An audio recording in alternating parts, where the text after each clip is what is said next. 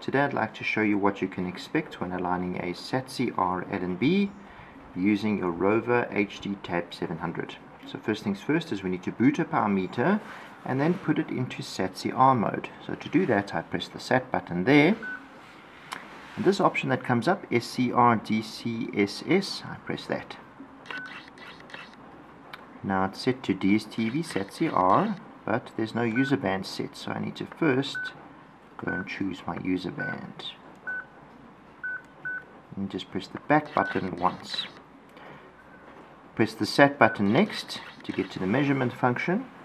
And if you look there on the bottom right it says S slash D1 so that's SATC-R user band 1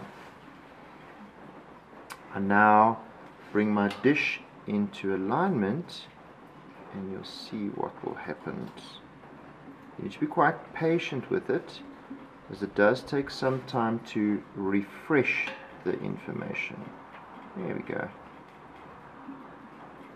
Alright, so you can see I'm getting a very high dB microvolt reading, but my MER is poor and my EVM percentages are low. That's because I need to adjust my skew of my LNB.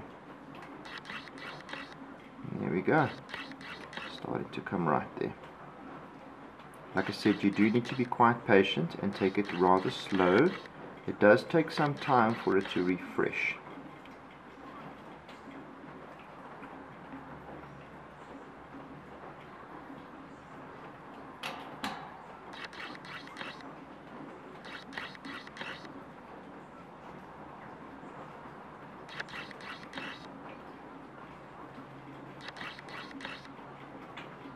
There we go.